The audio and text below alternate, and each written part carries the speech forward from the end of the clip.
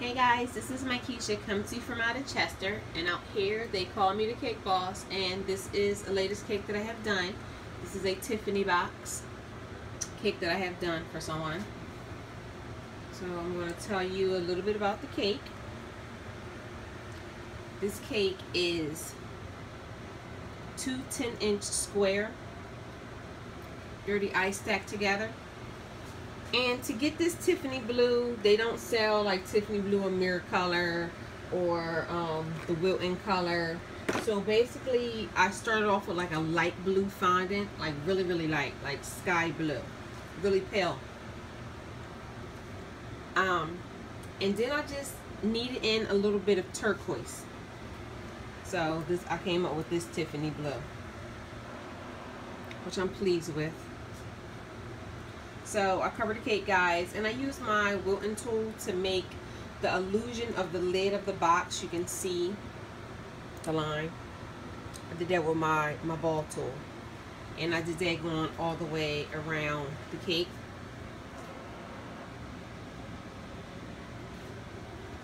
After that guys I did my little um, white strips with my bell that's made out of fondant and I just let it dry.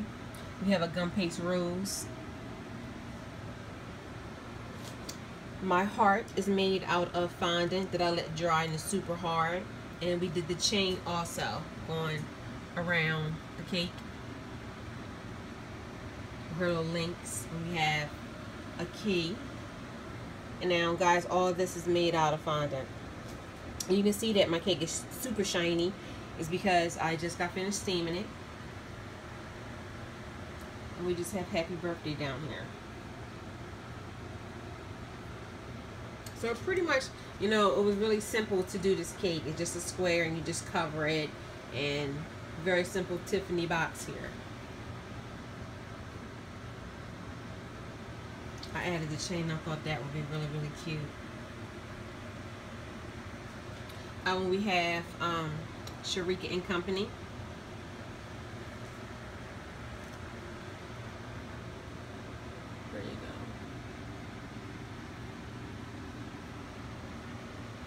In the links guys all I did was um, made a circle with some fondant cut out the circle and I just bend it. I'm going to show you. Um, I do have some.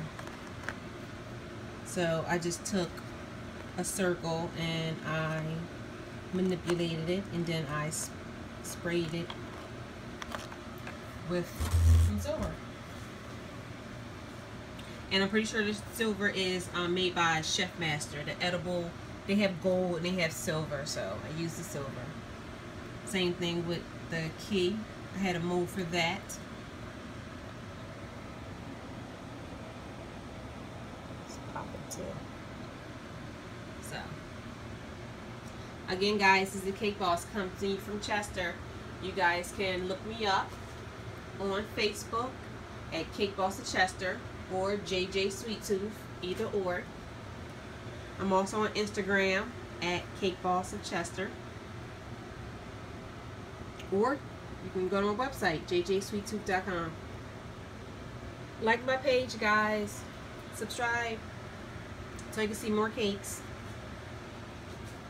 Comment down below. As always, guys, thanks for the love and support.